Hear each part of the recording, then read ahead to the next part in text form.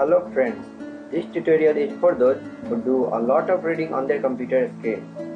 We will learn how to adjust the text display on our computer screen to make it look more easy and comforting to our eyes.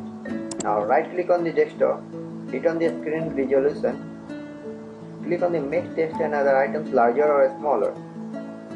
Now here click on the adjust clear type text. This is the property we are going to adjust. Make sure turn on clear type is on.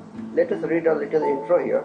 Clear type is a software technology developed by Microsoft that improves the readability of text on existing LCDs such as laptop screens, pocket PC screens and flat panel monitors.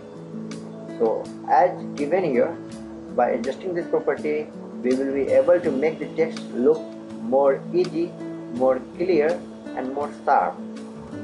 Now hit on the next button, again on the next button now you are presented with a few samples. You have to choose which one looks best for you. So the default one looks best for me here. In this screen, this sample looks best for me. In this screen, this sample looks best for me. And here I would not like to like to choose the darker one. I will always go with the default one here. Now hit on the next button. We have just completed this video.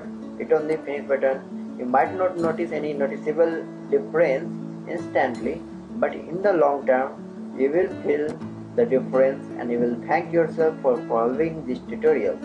I am Saurav Kumar for TechOTV.com. Thank you for watching this video.